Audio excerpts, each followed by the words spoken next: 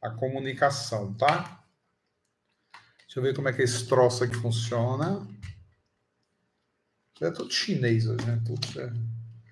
Eu sei que tá assim, tem duas lampadinhas aqui, ó. Deixa eu travar esse negócio. E aí acende um assim. Ó, oh, é boa, tá vendo? Olha lá. Ó, que legal, né? Eu sou abestalhado por essas coisas, porque eu acho que eu sou. Eu era uma criança que queria muito brinquedo, mas na época a situação não era favorável. Deixa eu ajeitar aqui o meu computador, olha que legal. É bom, né, esse tal de internet, porque eu tô, posso estar aqui ó, no YouTube, posso estar aqui com vocês, isso é muito bom. Mas, assim, a minha aqui no, no, no Instagram, eu não vou eu não vou ficar ao vivo, tá? Eu vou fazer isso lá do do YouTube. O que é que vocês acham dessa ideia? Aí todos vocês vão lá para o YouTube na minha página e aproveita e se inscreve lá, porque eu quero falar muito ainda na minha vida e eu quero que vocês me ouçam. Eu preciso ter um público para é, para me ouvir, né? Minha pedra da sorte hoje, maravilhosa. E, e vamos conversar. Hoje o assunto é muito legal. 18h59, estamos chegando na hora.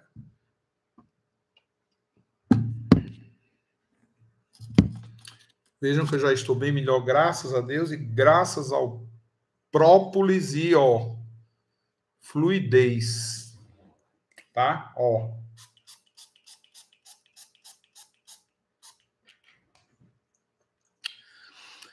Comecei de meia e meia hora. Maravilha. Saiu desentupindo tudo.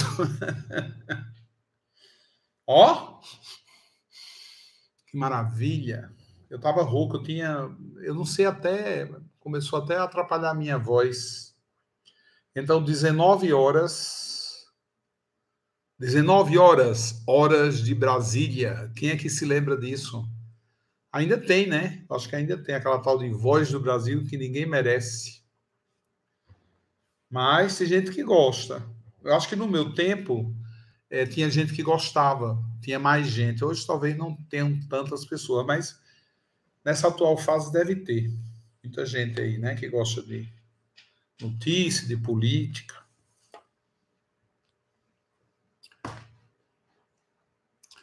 Na última eleição, é, ficaram insistindo lá, né? Não, você vai ter que votar. Eu digo, meu Deus, preguiça, eu, eu pago a multa, R$14,90.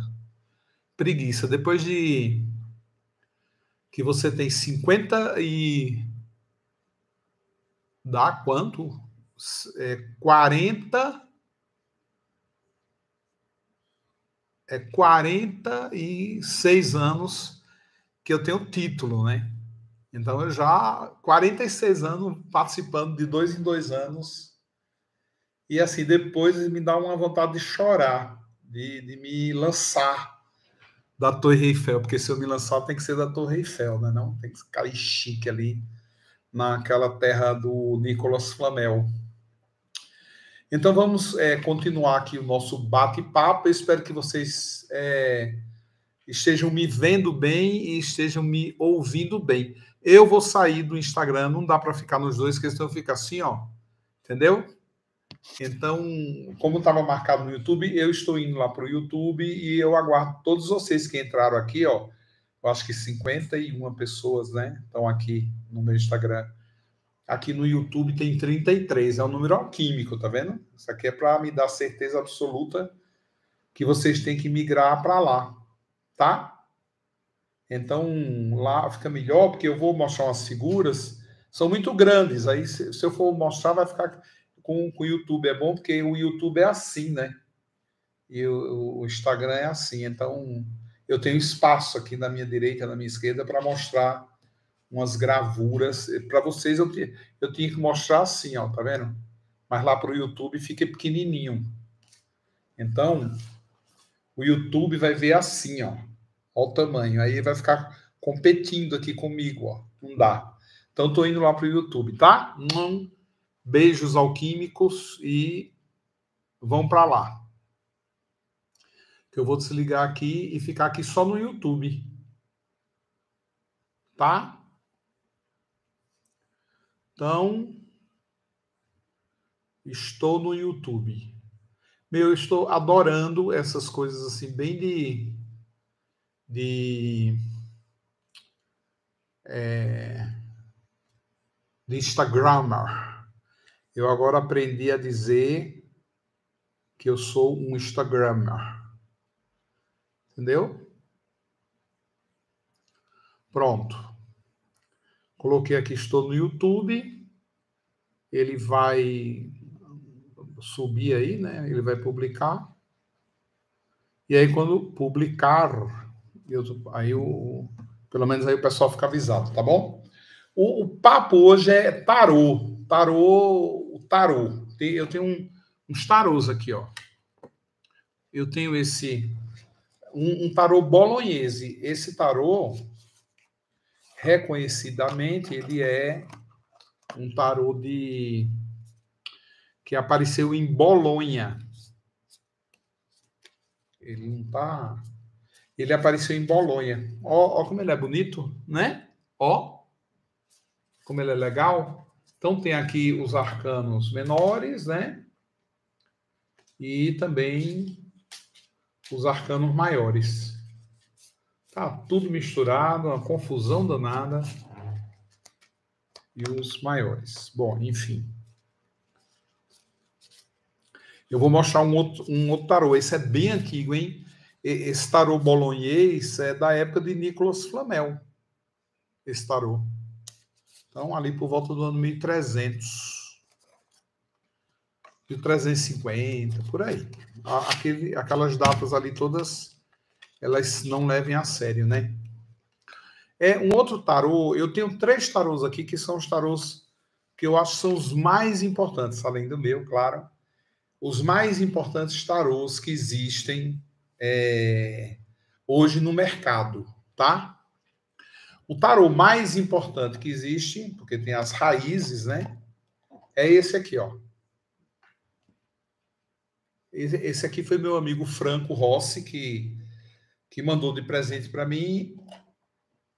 Eu, eu, tinha uns 300 tarô, me, me livrei deles todos, mas fiquei com o tarô. Desses três eu fiquei, não consegui me livrar. Então você tem aqui ó, o tarô de Marseille. Pronto, essa aqui é uma, uma das representações, ó. O eremita. Né? Outra, a torre, a torre, é, o sol, a roda da fortuna, o diabo, tem um monte aqui, né? São 22.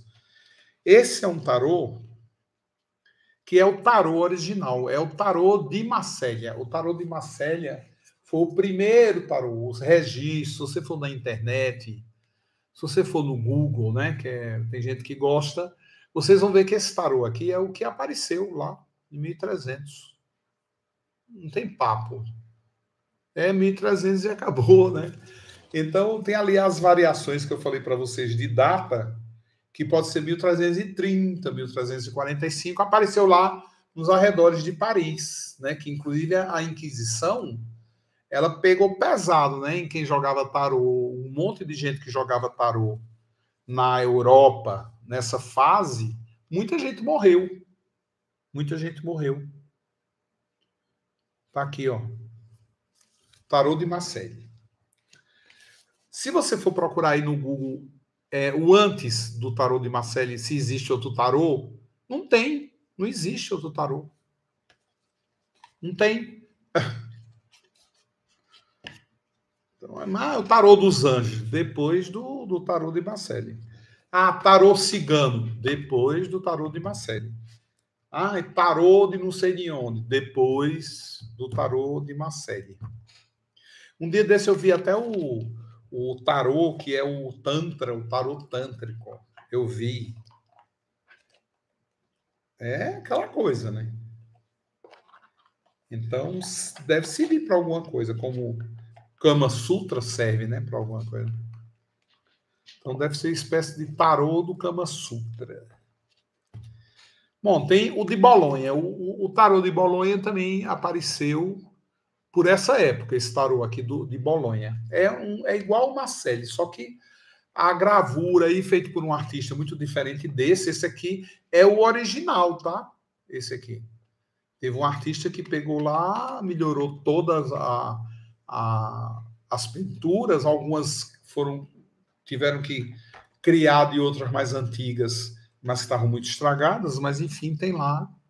Esse aqui é o mais. Essa casa aqui, inclusive, ela imprime o tarô. Ó, olha que coisa linda. Desde 1709, ó. Essa, essa casa aqui. Desde 1709. Muito legal, né? E o Bolognese na mesma época lá, na Itália. E esse outro tarô aqui, ó. Que é o tarô de Visconde, ó. Tá? Olha que lindo. Esse tarô, ele apareceu também na Itália, mais precisamente lá em Florença. Olha que lindo, ele é, ele é todo de ouro. Olha, isso aqui é tarô de, tarô de guru mesmo, né? Todo de ouro. Ó, ó a coisa linda. Não é lindo, né? Ó, ele é dourado. Olha que arraso. Deixa eu mostrar outro aqui para vocês.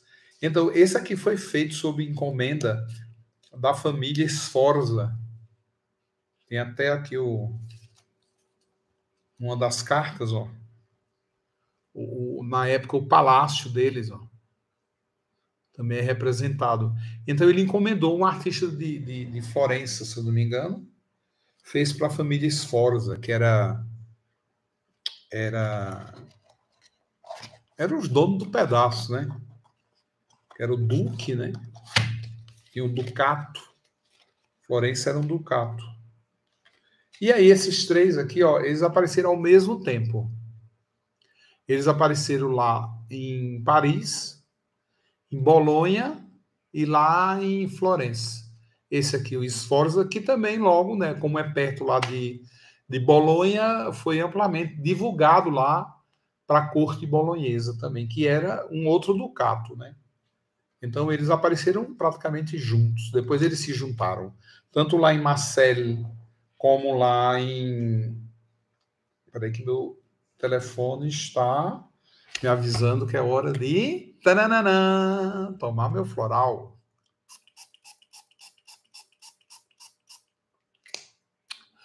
Eu tenho que dar bom exemplo, né? Ó, no instante me desentupiu. Foi uma, foi uma paciente que passou, escreveu: Joel, toma fluidez e cria vergonha na cara. Tá bom. Então, ó, apareceram ao mesmo tempo. Antes disso aqui não existe tarô dos anjos, tarô cigano, não existe, tá? Podem entrar no Google, podem pesquisar, vocês vão ver que o tarô existe após o tarô de Marseille, esse aqui. Tarô conta uma história, né? E eu gostei muito, trabalhei, uma amiga minha veio me deu, eu peguei o tarô na frente dela, fiquei admiradíssimo, aquilo, coisa mais linda. Aí ela falou assim: joga para mim, porque ela era minha paciente, sabe, né? Eu, na, na, na época eu trabalhava como médium, aí ela falou: puta, esse cara aqui deve jogar muito bem, tarô. Casquinha de limão. Espremido com própolis. E aí, eu fui lá, peguei as cartas encantado assim, né? Aí ela falou: ai, Joel, joga. Aí eu disse: eu, não, eu sei lá jogar. Ela falou: não, embaralha aí. Aí eu embaralhei, né? Aí ela falou assim: pronto, agora eu vou pegar três cartas. Como é que você acha assim? Qual é o assunto? Eu falei: ah, se você for pegar três cartas, fala do passado, do presente e do futuro. Aí ela falou: nossa, boa ideia. Eu digo, é, deve ser uma boa ideia, mas eu não sabia nem o que era aquilo. Ela tirou uma primeira carta. Aí a primeira carta que ela tirou, eu olhei e falei, ih, meu Deus, parece que tem um problema vindo em sua direção. Aí ela falou assim, como assim, problema vindo em minha direção? Eu digo, é, peraí, vai. Tira a do presente. Aí ela tirou a do presente. Aí quando ela tirou a do presente, era a justiça. Aí eu falei para ela: nossa, é um problema com a justiça. Alguma coisa está enrolada. Agora é muito interessante, porque não é, não é. Eu sinto assim que não é você, com você, mas é com a família. Então vai pegar você também. Aí ela falou: ai, Joel, pelo amor de Deus, né? Aí eu falei: não, mas tem um futuro. Aí tira o futuro. Aí ela tirou o futuro, ela tirou, eu lembro, o sol, a carta do sol. Tirou lá a carta do sol. Eu falei, nossa, que coisa linda. O sol é, é sucesso, então vai dar tudo certo. Nossa, vai. Vai tudo se resolver. Mesmo que seja assim, né? Às vezes de maneira mais chata.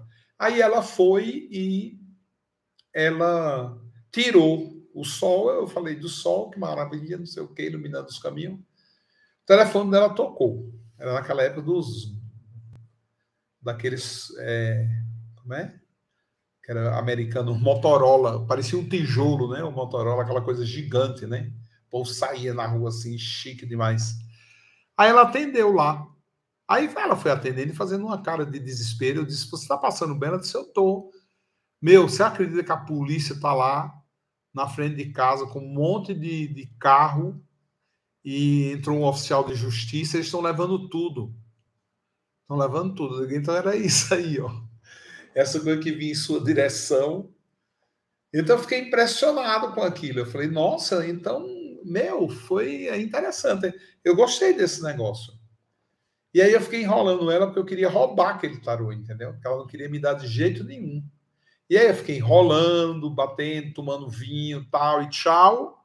Ela deixou o tarô lá em casa e eu fiquei com o tarô para mim. E eu joguei durante muitos anos o tarô. E eu jogava assim. Eu não sabia nada, não entendia nada.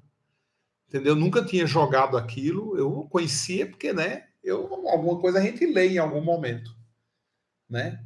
E algumas pessoas chegavam para mim e falavam: ah, Eu li o tarô com uma mulher maravilhosa, vai lá ler.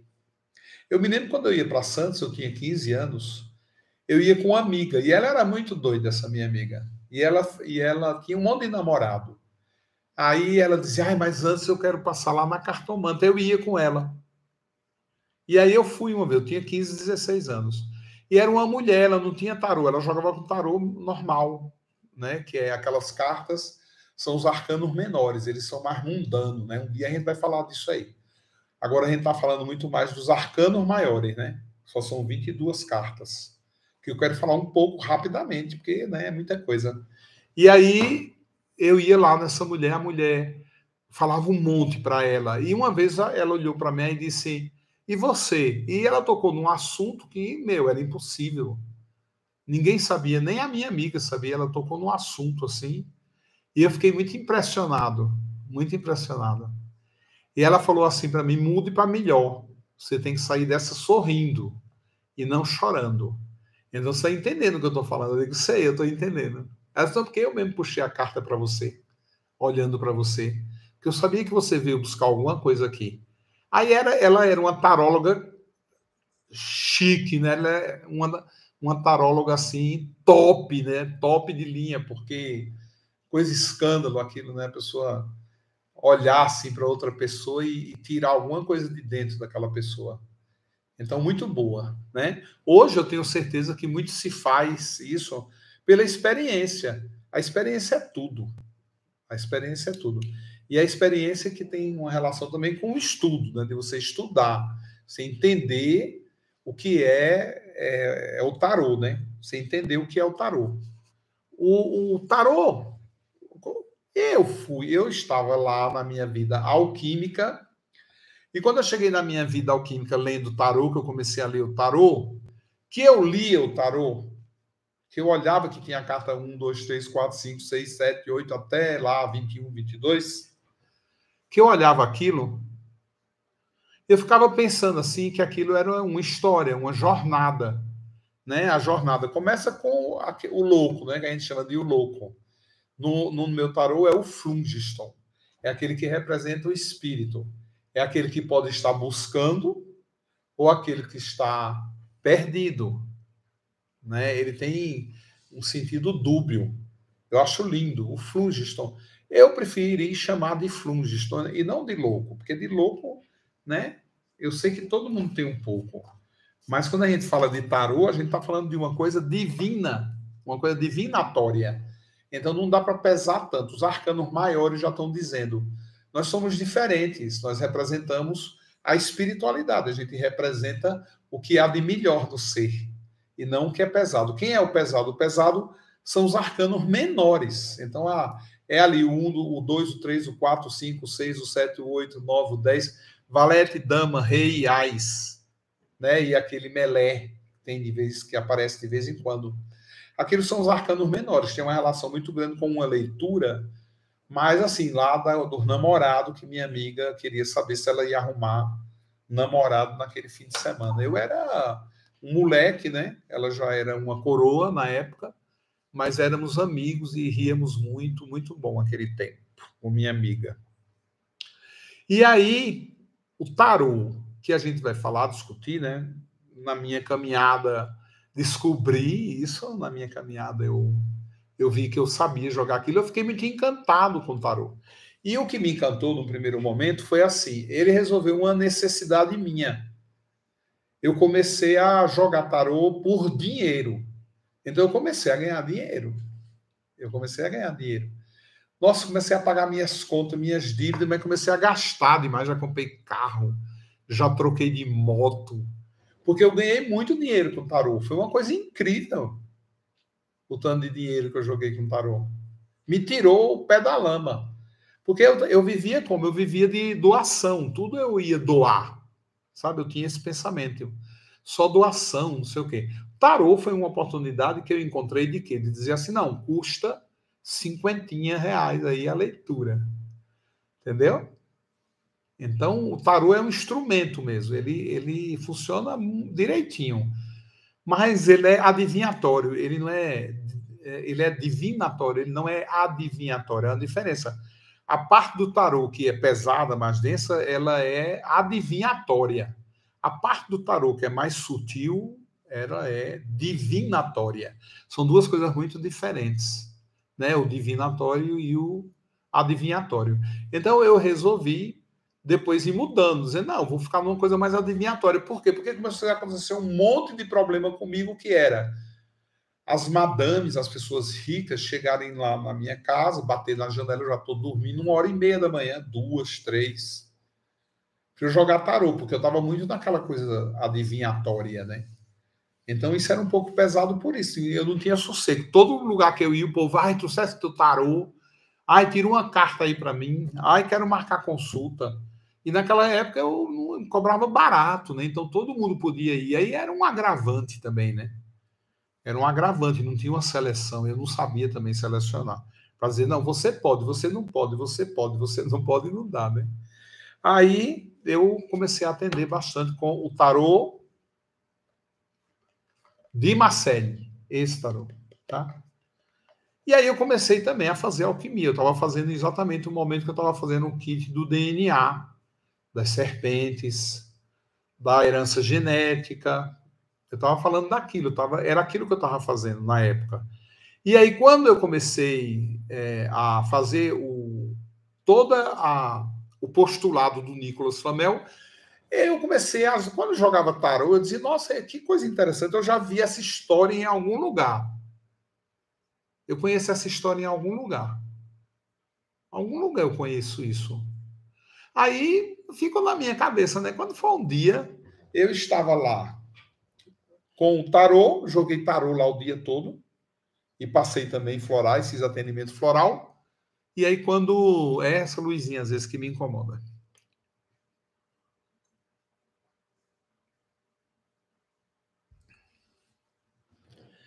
Eu comecei a sacar, dizendo, nossa, isso aqui parece um postulado do Nicolas Flamel.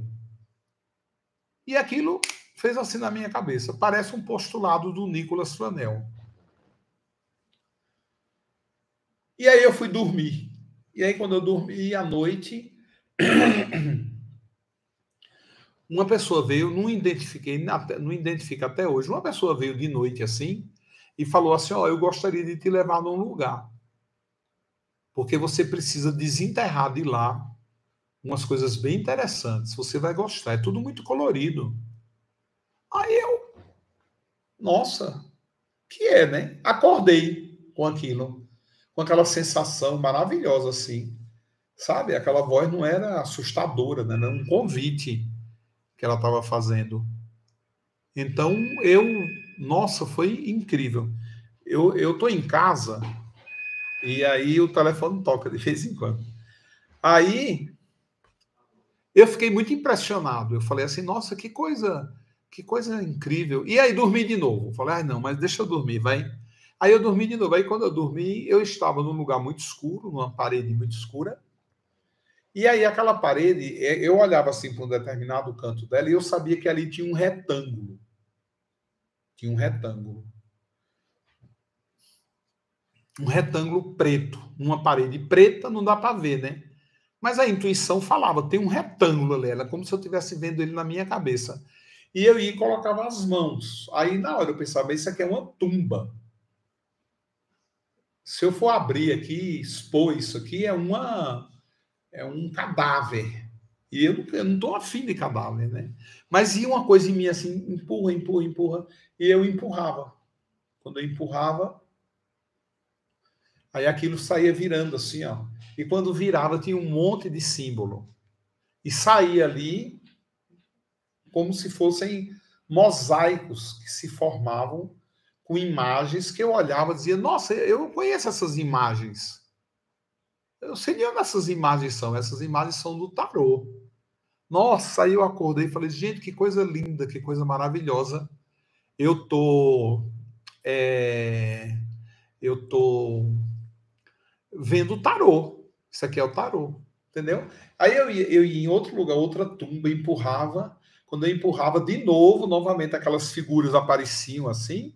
Elas apareciam na realidade assim, uma do lado da outra, mas misturadas. Depois elas se desmisturavam e formavam desenhos que eu conseguia entender, ver, olhar, entender, é, pensar e chegar à conclusão que eu estava vendo o tarô de Marcélia, eu não estava vendo nada demais. Eu estava vendo o tarô de Marcele. Coisa linda. Ainda estou assim.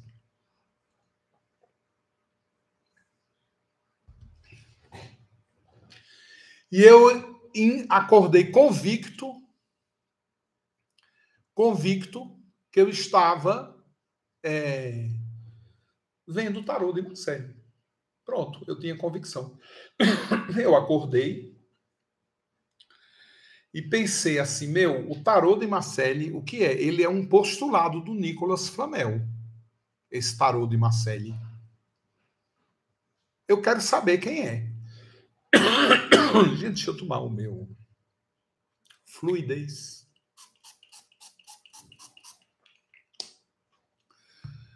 Eu falei, eu quero saber quem é. E entrei lá no Google, feito um desesperado, e fui procurar Tarô de Marcelli. E aí, qual é a história? O Tarô de Marcelli aparece em Paris, na mesma época de Nicolas Flamel, por volta de 1330. Em 1340, dez anos depois, ele aparece em Bolonha, na Itália. E depois ele aparece em Florença, como uma encomenda. Logo depois, como encomenda da família Sforza. Nicolas Flamel viveu em 1300. Nicolas Flamel, ele, dez anos depois, ele estava na Itália, mais precisamente em Bolonha. Ele estava montando um hospital lá. E várias vezes Possivelmente ele ganhava um patrocínio do Ducato de Sforza, lá do, dos Sforza, lá em Florença. Ele ganhava alguma coisa, né? E ele montou esse hospital em Bolonha. Em Bolonha. Ele também era muito influente né, na corte em Bolonha. Não é muita coincidência? E, e quando você estuda alquimia e conhece Nicolas Flamel, você vê que aquilo está escrito ali. Aí eu comecei a comparar eu comecei a comparar toda a história de Nicolas Flamel nos seus postulados, por exemplo, quando ele conta a jornada do, do, da queda do espírito. Como é a queda do espírito? E aí eu fui ver aquilo de novo e aí eu fiquei encantado, né? Porque era um, como assim, 21 lâminas. E aí eu descobri que existe o um notebook de Nicolas Flamel, onde você tem essas 21 lâminas, mas assim, quando eu li, eu falei, não, mas parece que não é nada parecido com aquelas figuras, mas tem uma relação. E a história do Nicolas Flamel é que ele foi fazer o caminho de Santiago, no meio do caminho ele recebeu 21 lâminas de um monge chamado Abraão, que continha os segredos lá da pedra filosofal. Ele voltou para Paris com essas lâminas, que ninguém sabe onde está. Ninguém sabe onde está. Essas lâminas. Ninguém. E ele, por incrível que pareça, né, ele era devoto de São Tiago. Por isso que ele ia sempre a Santiago de Compostela. Porque ele era devoto. E ele fazia o caminho de Santiago como uma penitência. É muito interessante essas histórias. Cruzando essas histórias, eu descobri que eu estava diante dos mistérios, dos segredos do tarô. E aí foi, né, uma coisa incrível, porque deu um salto e eu naquele estudo todo eu fiz só umas correções, uma eu achava que aquela carta do tarô de Marseille, número 6, na realidade ela era a 7. E aquela que era a 7 era o 6. Então, duas cartas lá, eu troquei os números, né? Fiz assim essa correção, porque eu achei que ao longo de muitos anos, muita coisa, por exemplo, algumas cartas do tarô de Marseille foram reconstruídas, né? Não foi a das originais. A, a, muita coisa se fez com as originais, mas a, algumas se perderam. E ainda tinha lá a Inquisição que queria trocar as bolas. Quando via que não conseguia controlar aquilo, ela tentava deturpar aquilo e fez isso com muitas escrituras alquímicas na época. Então, é muito legal né, a gente saber que é, tem esses dados, assim, dá mais certeza na hora que você diz, não, eu quero mudar, eu acho que essa coisa tem que ser vista dessa maneira e não dessa. Então é muito legal, porque isso dá uma segurança, saber que a coisa era assim, né? E aí eu coloquei e construí um oráculo.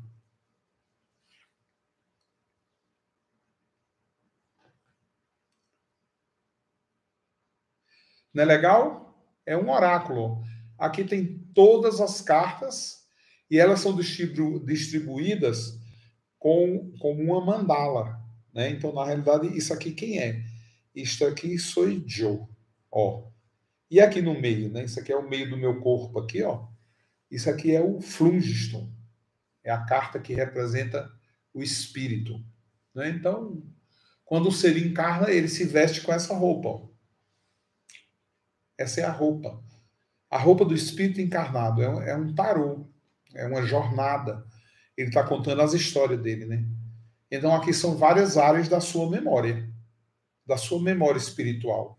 Aqui ele guarda a espiritualidade, aqui ele guarda o seu poder pessoal, aqui ele guarda o alquimista, a sua parte alquimista, aqui a sua parte rainha, o rei, a sua parte papal, papal, né? o papa, o verbo, a transformação, e aqui vai, ó.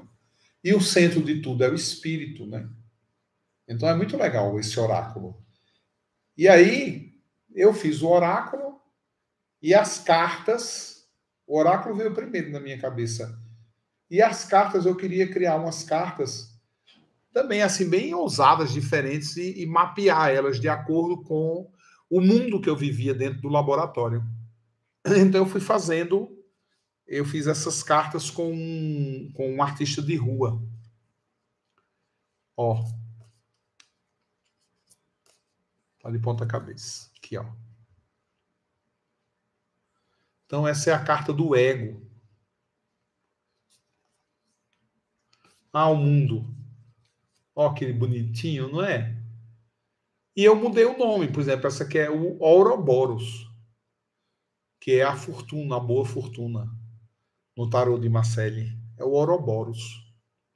Isso aqui é uma pintura minha de muitos anos atrás. Descobri hoje ela aqui em casa, perdida. E aqui, ó. A reflexão.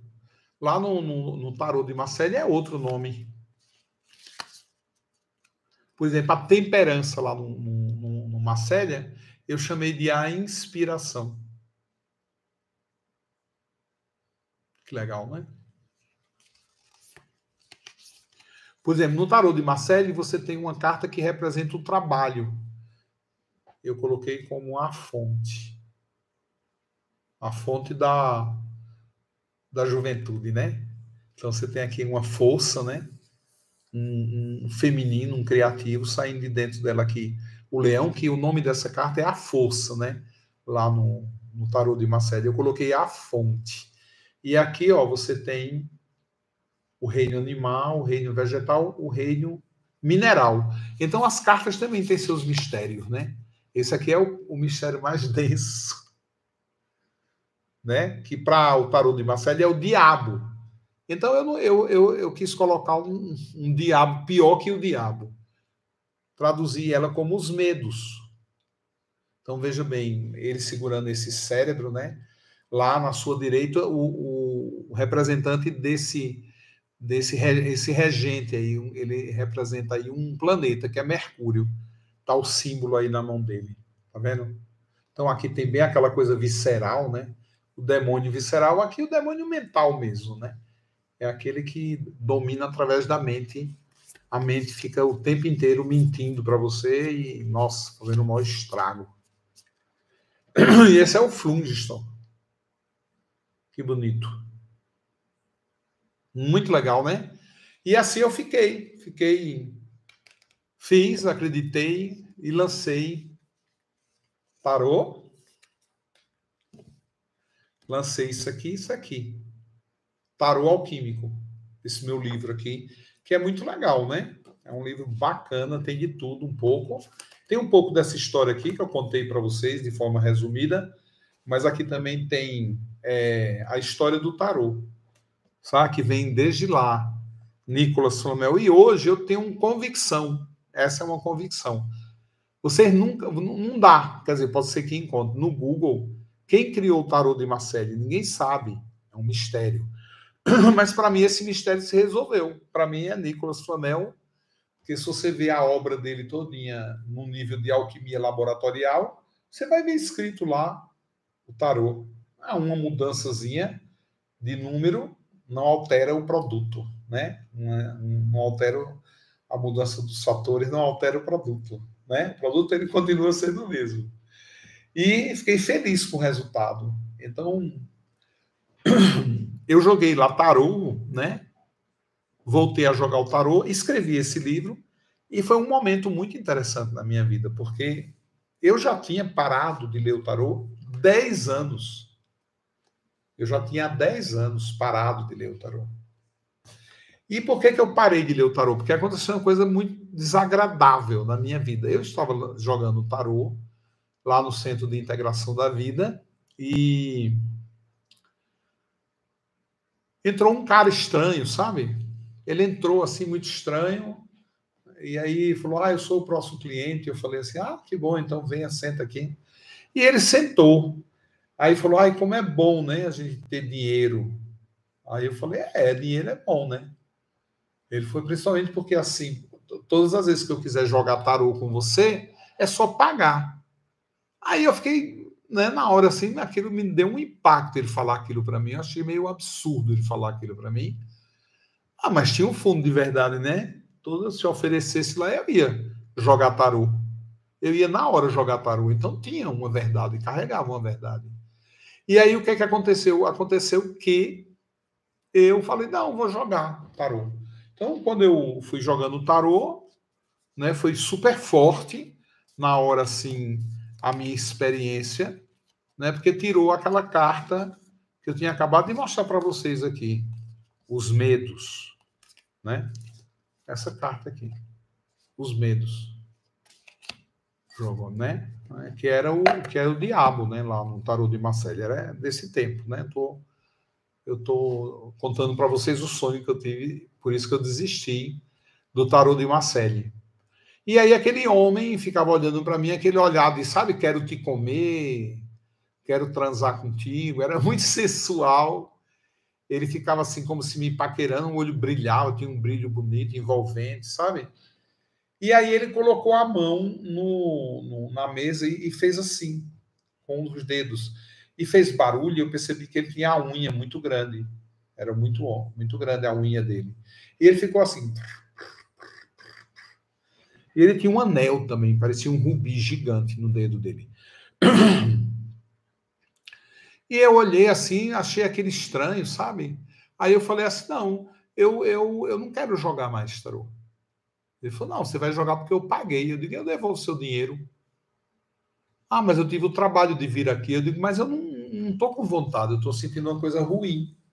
Eu quero ir embora. E aí ele se levantou e ficou olhando assim, me fitando. Gente, aí eu vi atrás dele um negócio fazer assim, ó, um rabo. Daqui a pouco ele começou a virar um, o corpo dele um bode, com aquelas patas grandes, sabe? E aí eu vi que ele era o demônio. Ele era o demônio. Era um demônio. E ele olhava para mim assim e falou: Mas eu estou pagando. Aí eu falava: Mas eu não vou ler tarô para você. Eu não vou. Sabe uma coisa? Eu não vou ler mais tarô. Eu vou acabar com isso aqui. Eu não estou sabendo lidar com isso aqui. Então, a partir de hoje, eu não jogo tarô mais para ninguém. Peguei o meu tarô, coloquei lá na embalagem, não era esse, né, era um outro. Enrolei num tecido, num pano, abri um buraco, joguei sal, coloquei ele dentro de uma caixa de madeira, que era um baú, botei um cadeado Joguei ele lá no fundo assim do, do, do terreno, né? Na, na, cova, e enterrei lá. Ficou enterrado 10 anos. Ficou enterrado. Quando Clara nasceu, foi quando eu tive esse sonho, 10 anos depois, que eu já contei para vocês aqui, de estar lá no cemitério, empurrando e vendo aquelas cartas, e descobri que o tarô de Marcelli era um postulado do Nicolas Flamel. Fui pesquisar e vi que era e, e depois desenvolvi o meu próprio tarô. Foi incrível, foi muito incrível. Um empregado chegou, disse, seu Joel, achei um negócio ali. O que foi que tu achaste? Eu estava cavando, estava né, aquele, arrancando algumas raízes, e aí eu bati nesse negócio aqui, ó. Achei estranho, achei essas coisas meio de macumba. Eu olhei assim, eu, eu, eu, ele falou: eu não, eu não passei nem água, porque pode ser que tenha alguma coisa aí que não possa molhar. O empregado falou. Aí eu falei: nossa, abre esse cadeado. Ele falou: não sei, está todo enferrujado e não, tem, não vai ter como abrir. Vai ter que, vai ter que, é, seu Joel, eu acho que a gente vai ter que quebrar. Eu digo, quebre. Aí não, ele nem fez força, colocou um ferrinho, fez clique, já quebrou, estava todo enferrujado eu abri, desenrolei, abri aquela caixa, ele estava em perfeito estado, só fedorento mesmo, um cheiro estranho. E aí eu falei assim: não, eu quero jogar o tarô, mas eu quero fazer o meu tarô. E o tarô que eu vou fazer é o tarô de Nicolas Flanel. Então, fiz esse aqui. E aí depois eu fiquei sem entender porque é que isso veio de novo. Por que, é que isso aqui voltou para mim? Por quê? Por que voltou, né? Tinha que fazer sentido para mim. Eu sou Capricórnio em touro. Se não fizer sentido, eu não quero. Eu não quero para mim. Eu não fico me apegando a uma coisa que não faz sentido. Então, tchau, dá um del para desocupar e ocupar com uma coisa melhor na cabeça, né? E aí eu fui e fiquei pensando assim, não, vou fazer alguma coisa com isso. E eu comecei a perceber, por exemplo, eu levei o tarô, foi muito interessante, que eu levei o tarô lindo, né? Fiz a primeira cópia, foi um primo meu que fez as fotografias todas dos quadros, porque era um quadro, né? Dos quadros e, e dessas montagens e, e tudo mais. E aí ele fez, porque eu queria fazer uma apresentação depois daquilo. E ele falou, e eu falei, ó, eu fiz um tarozinho, ó, mandei imprimir, mandei plastificar. Olha que bonitinho que ficou esse protótipo. E como presente eu vou jogar para você. E aí eu joguei para ele, para o meu primo. E foi uma revolução na vida dele. Foi uma coisa incrível. Eu fiquei muito impressionado com o que aconteceu depois. Porque ele, primo, próximo, né? A convivência, tudo. E aí eu, eu falei: sabe uma coisa? Eu vou levar lá para a minha sala. E eu vou levar lá para minha sala Eu vou pôr lá em cima da mesa. Se chegar alguém, eu olhar e eu tiver vontade né, de, de jogar, acho que isso não baixa mais. Né? Não. E tiver vontade de, de jogar, eu jogo. Pronto. E fui lá e deixei lá o tarô na minha mesa. Aí lá na minha mesa, montadinho, bonitinho, né? Fazer assim para todo mundo pensar que isso aqui é uma mesa. Na minha mesa, eu atendi minha primeira paciente. Aí ela entrou, aí falou: ah, pra, antes de você falar, eu já vou dizer o que é que eu tenho. Eu digo: então, tá, fica à vontade. Ela falou: eu tenho câncer de mama e com metástase no pulmão e no fígado. E eu queria muito entender. Eu acho que eu tenho uma noção. Eu sempre fui uma pessoa muito sofrida na família e eu tive muito problema de casamento. Eu acabei três casamentos, todos eles foram muito frustrantes. E todos os três eu, eu fui traída e todos os três eu descobri a traição. Então é um saco isso. Eu digo, é, é um problema. Isso aí é uma coisa muito chata, realmente. Então a senhora responsabiliza os seus casamentos. Ela falou, e principalmente esse que eu estou hoje. Nossa, é assim, vai me matar, isso está me matando, é esse casamento. Eu falei, olha, eu não, eu não conheço seu marido, eu não conheço a situação de vocês, eu estou sabendo pela sua boca. É você que está me contando. A situação não está assim, não é clara para mim. Então, eu vou falar uma coisa para você. Você conhece o tarô? Aí ela falou, sim, eu conheço. Você joga tarô? Eu digo, jogo. Eu jogo, tá aqui, ó. Esse é meu. Esse é o tarô alquímico de Nicolas Flamel. Mas quem fez as cartas, eu e um artista de, de rua. Aí ela falou: Nossa, que coisa linda. E, e joga o tarô para mim. Eu falei: Não, não vou jogar o tarô, você vai jogar. Então eu vou aqui, ó, tá embaralhado, você não tem noção do que é quem, quem é quem. Eu vou colocar aqui em cima da mesa. Coloquei lá as 22 cartas para ela. E aí, na hora que eu coloquei as 22 cartas para ela, ela foi lá e tirou uma carta. E eu falei para ela: pensa aí no cara, pensa aí no teu cara, nesse cara aí, pensa aí.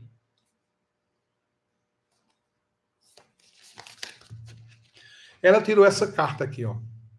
A Gênese na retorta é representa Adão e Eva, um útero, né? Ó, os ovários, as serpentes, o DNA, o símbolo do planeta Marte. Aqui o anjo da retorta, né? Esse é o anjo, tá lá com a, com a barriga aberta, aparecendo as vísceras dele. E aí eu falei, nossa, isso aqui é uma separação. Aí ela falou, separação? Que separação? Falei, deve ser sua e desse marido aí que você está falando mal dele. Aí ela falou, não. Na realidade, a gente já é separada, que a gente mora na mesma casa. Eu falei, então essa carta está dizendo aqui que você precisa abortar isso aí, essa criança. Já que ela não né, sai sozinha naturalmente, aborta a criança. Ela falou, mas como assim abortar? Eu digo, meu, você não foi embora de casa? Não, ele é que tem que sair. Tá, mas ele não tem o mesmo direito? Ele não vai sair, porque o homem não sai da casa. Quem vai sair é você.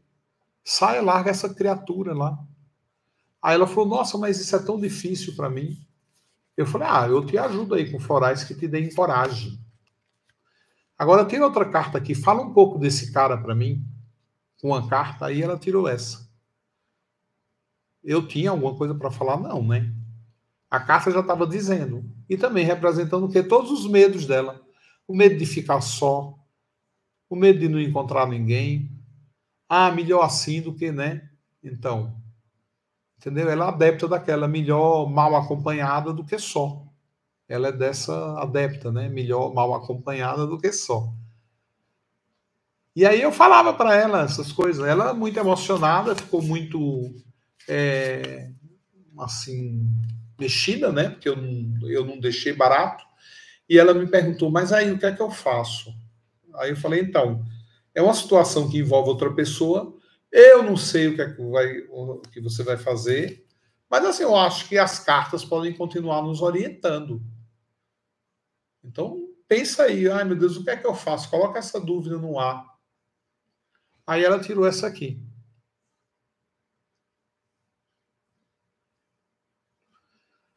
Aí eu falei, mano, a primeira coisa que você vai ter que fazer é, é assim, o teu mundo caiu. Então, você vai ter que reconstruir. Só que você tem que assumir que ele caiu. Porque você está em cima de um mundo que não existe, é uma ilusão. Caia imediatamente, saia fora, caia para se erguer. E eu te ajudo. Eu te dou umas alquimias, eu te ajudo. Eu posso fazer alguma coisa por você, mas pelo amor de Deus, pelo amor de Deus, meu, cai fora. Cai fora. Aí ela continuou ainda, sabe, assim, né? E nada, e nada. Aí olhou para mim e disse: Ai, eu acredito em tudo que você falou, mas eu posso tirar mais uma carta? Eu disse: Pode. Qual é a pergunta? Aí ela: Ah, é para saber disso tudo mesmo, ainda tenho dúvida. Talvez eu não tenha fé, mas eu não quero sair daqui sem tirar outra carta. Eu digo: Tá bom, tá bom, tira. Então vamos lá, tira. Ela tirou essa aqui a escada. Então a escada mostra o quê? Toda a história, toda a jornada. Mas a escada ela representa o quê? Um degrau quebrado. Então alguma coisa você tem que olhar para trás, ver o que é que aquele degrau, por que, que ele ficou quebrado. Então você tem que voltar lá. Você pulou o degrau porque ele estava quebrado. E aí ele continuou quebrado, mas aí você não pode avançar né? Porque o teu inconsciente, o teu espírito vai dizer não ir lá atrás, ir lá atrás. Então ele reduz o tempo e espaço. Ele reduz esse esse sabe, você fica patinando, dando murro em ponta de faca e essas coisinhas mais que acontece quando a gente não se ouve, não se enxerga, não se obedece, não faz porra nenhuma quando a coisa tá, entendeu? Dizendo assim, meu, muda ou você muda, criatura. Ou você muda ou você se lasca todinho, ou você se ferra para lá. Então, meu, tem uma hora que assim não tem como adiar. Então, faça uma gentileza, volte. Volta aí nesse passado. Vamos, vamos, vamos falar aqui. Por exemplo, a hora que você olhou e você viu e você teve certeza e descobriu que ele estava te traindo. Possivelmente é isso aí. É isso aí. Ali acabou tudo. Teu amor foi para as picas. Já era. Não existe amor próprio aí. O, o amor está muito ferido. Ele não, ele não consegue. Se você passar uma maquiagem nele, ele sangra. O sangue que está por trás do amor ferido, ele não deixa a maquiagem vingar. Não adianta você vestir roupa linda, maravilhosa, roupas de né, primeiro mundo, se dentro não está bom, não está bem. Então, é isso. Mas aí eu descobri, né, uma coisa muito boa, uma coisa maravilhosa eu descobri nesse momento. Eu estava ali com o tarô jogando, que foi o quê? Eu não preciso me meter na vida de ninguém no atendimento. Entendeu? Como é que eu dou uma opinião num relacionamento de uma pessoa que eu não conheço? Como é que eu posso julgar, por exemplo, um irmão? Atendia um irmão que era muito rico e tinha outro irmão que era mais pobre que ele, mas eles tinham sido sócios. Então, o que é que ele fez? Ele queria colocar esse irmão para fora da sociedade. Ele conseguiu colocar, aliás. O irmão recorreu, estava na justiça há 20 anos. 20 anos. Só que agora estava naquele momento lá do Supremo Tribunal de Justiça. Eu não entendo muito dessas coisas, mas deve ser isso. E lá não tem mais assim como recorrer. Então, se o juiz dissesse o seu irmão ganhou a causa, ele estava lascado, queria passar 50% de tudo para o irmão. E se dissesse seu irmão perdeu a causa, o irmão estava lascado, porque quem ia pagar aquela causa era ele, e ainda podia ser processado pelo que ganhou. Então, assim, aparentemente um beco sem saída, ou então um beco com saída, né? Se decreta uma coisa, pronto, saiu, acabou. É porque se decretasse que ele ter que dar metade da fortuna para o irmão, ele ia chiar muito, né? Ele ia chiar muito. E ele já, claro, durante 20 anos, já tinha passado terreno para os filhos, já tinha passado os imóveis, ele já não tinha mais nada, o irmão ia pegar 50% de nada entendeu? E não ia dar, já tinha passado 20 anos, não ia como recorrer. Então fala para mim. Tá lá o cara que é o rico e tá lá o pobre que eu não sei quem é. Como é que eu posso dar algum pitaco nessa coisa aí? Como é que vocês orientariam ele? Que orientação vocês dariam para esse homem? Ele quer saber o que, é que ele faz. E aí, eu sei lá o que, é que ele faz. Ele quer uma opinião diferente do advogado, uma opinião diferente da cabeça dele, uma opinião diferente da família, uma opinião diferente dos outros sócios da empresa. Entendeu? Será que existe? Existe isso aqui. Essa é a opinião. Porque quem é que vê melhor? Quem é que vê melhor que você? Você que está aí olhando minha, agora para a minha cara. Quem é que vê melhor que você? É o seu espírito, né? Que vê melhor que você. Então, se o seu espírito vê melhor do que você, por que, é que você não entrega seu espírito e ao espírito do paciente as respostas que ele precisa naquele momento do aconselhamento? Né? Ó, oh, não tem como falar desse teu irmão mais pobre e das atitudes dele. Eu sei que você condena, eu sei que é errado, sei lá. Você tem um julgamento aí. Você já julgou, já seu irmão não vale nada, mas ele não está aqui, eu não conheço ele, eu não sei quem ele é. Então, vamos ouvir o seu inconsciente, porque seu inconsciente é seu espírito. Espírito não mente, é experiência laboratorial. Espírito não mente jamais. Não ouvir falar de as cartas não mentem jamais. Pronto, quem é que fala aqui? É o Espírito. O Espírito está falando aqui. Ele está dizendo o quê? Ele está dizendo alguma coisa, uai. E eu vou falar o quê? Eu vou falar o que está aqui. Não vou falar baseado no que eu vi da boca daquele cara, do irmão. Não, eu vou falar o que está aqui. Então, dependendo do que ele vem tirando, ele vai dizendo a mim, ele vai me mostrando e ele vai me mostrando e mostrando, e eu vou só falando, sendo a ponte que traduz aquela informação, sendo a ponte que passa, né? O começo, o meio, o fim, a conclusão. E aí, a partir da conclusão, aí passa floral, aí conversa, aí eu posso dar uma opinião. Porque eu tenho certeza que quem estava ali naquele momento era o irmão. Eu tenho convicção disso. O irmão veio, né, através dele, a ponte. Ele está na teia. O irmão está na teia desse cara. Né? Não é uma pessoa desconhecida. Não, está na teia. Está no DNA dele. O irmão pode se apresentar com muita força e falar a história real. Então, como um tarólogo, né, eu procuro ser o quê? Ser realista. Amanhã eu vou jogar. Amanhã eu vou jogar para duas pessoas que ganharam um concurso aí no meu no meu curso de Alquimia para o Mundo, que era Alquimia do Futuro, agora é Alquimia para o Mundo, vai ser e vai continuar Alquimia para o Mundo. Muito legal. Então, é uma ferramenta, uma ferramenta linda, uma ferramenta maravilhosa. Tem muitas maneiras de você jogar. Você pode jogar para você. Então, eu estou lá, na reunião, falar, ah, eu queria saber essa reunião, como é que eu devo conduzir, não é? como é que eu devo me comportar como uma mãe, como é que eu devo conduzir. Isso aqui me chamou a atenção, né? E abortar vários projetos, né? Esperar a Eva também falar, né? Porque eu era aqui o Adão. Então espera a Eva falar a opinião dela. Você já tem a sua, vamos ouvir a dela e ver se a tua é compatível, se não for, tenta ajustar agrada um pouco ela, um pouco você e principalmente, acima de tudo, a empresa, né? Que era uma reunião de empresa. Então eu fui ficando craque nisso aqui. E cada vez que eu ficava craque em tarô alquímico, né, eu pude ajudar muita gente, eu pude fazer um grande trabalho, né? Que eu ajudei muita gente. E também durante um tempo viver daquilo, viver disso aqui. Tá? Só não pode abusar. Abusar não pode de nada, né? Aliás, então, abusei, foi bom porque eu enxerguei e hoje eu posso chegar contando essa história aqui para vocês, que é sempre uma história muito interessante.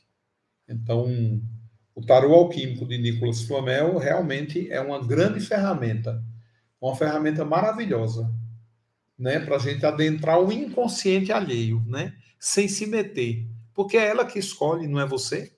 Você oferece o oráculo. Ela escolhe a carta, ela, a pessoa escolhe a carta, não é você que escolhe. Você escolhe quando é para você. Aí, ah, para você, então você escolhe. Não é para você, é a pessoa que tem que escolher. É simples. Tá? Temos o tarô, temos o livro e temos o oráculo. Nós vamos fazer vários encontros aqui, eu quero conversar com vocês sobre isso. E vamos ter aí futuramente, que eu estou fazendo um teste maravilhoso aí com a Giovanna e o Marcos, de ter um curso de tarô. Eu ensinando de maneira profissional para você que se interessa. É uma ferramenta alquímica de autoconhecimento, tá? E é para todos. Não tem, não tem restrição. Sabe ler, escrever, tem noção de português e matemática, fala bem, tem intuição boa, ou não, porque através dele você pode exercitar, abrir a mente, abrir o olhar e abrir a intuição para o outro. Ele é divinatório, essa parte aqui. A parte adivinhatória, aí, né, a gente estuda depois. Mas essa é a mais importante de saber, porque ela fala do espírito, da jornada, do propósito da missão. É muito legal. Meu relógio apitou aquela hora para eu tomar.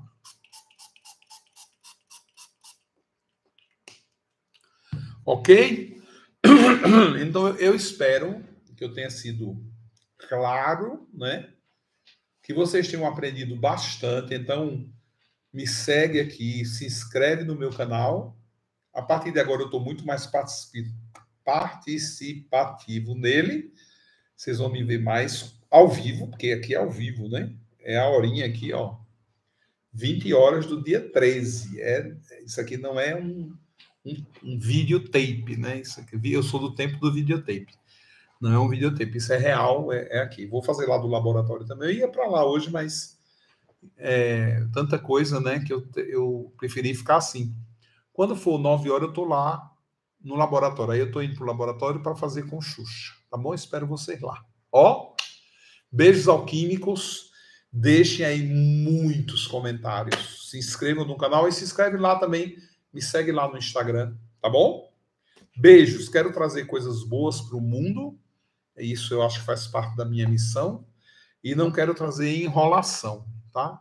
Vocês sabem que isso atrapalha muita gente, porque tem tanta gente que faz tanta bobagem que prejudica quem não faz, né? Mas não estou julgando aqui. Mas é que eu fui num para fazer um trabalho xamânico. E toda vez que o pessoal faz, ai, vamos fazer um trabalho xamânico, eu digo, ah, isso não existe. Eu só acredito em trabalho xamânico lá na floresta amazônica, na tribo do índio. Eu não acho que tem uma pessoa que, que não é índio, entendeu? Pode ter até um DNA de índio, faça uma coisa assim numa cidade grande, xamânica. E aí eu fui, eu conheço o Gabriel muitos anos, né? Eu conheço o Gabriel lá, o Leandro, fomos jantar, e ele e eu falei: "Meu, o cara tem essa experiência aí. Vamos ter essa experiência". E aí eu deitei lá. Gente, o que é aquilo? O que é aquilo? Eu fiquei impressionado. Foi uma coisa incrível. Não tem como descrever aquilo.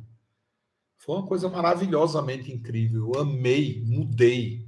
Alguma coisa, sabe, estalou aqui de ontem para hoje em mim. Eu mudei, eu mudei.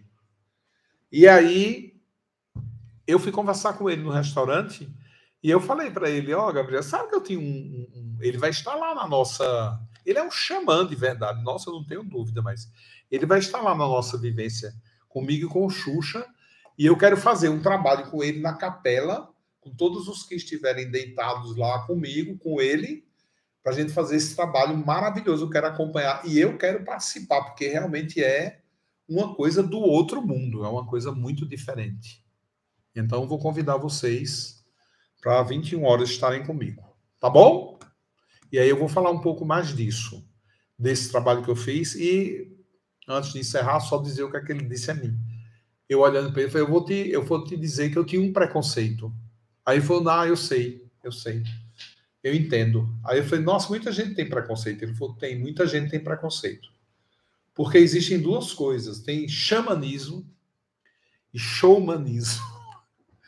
Aí eu falei, como é que é? Ele falou, não, tem muita gente que faz showmanismo não faz xamanismo. Então, o que você não deve ter gostado é o showmanismo. Aí eu falei, ai meu Deus, é isso mesmo. Agora eu entendi. O que eu fiz com você foi xamanismo. E o que eu fiz lá que eu não gostei foi showmanismo. Pode ser bom? Pode. Mas não é para mim, tá? Eu prefiro o xamanismo. Ó, beijos alquímicos, aí vai ficar gravado e convido os amigos para assistir, porque foi um papo muito legal sobre o tarô.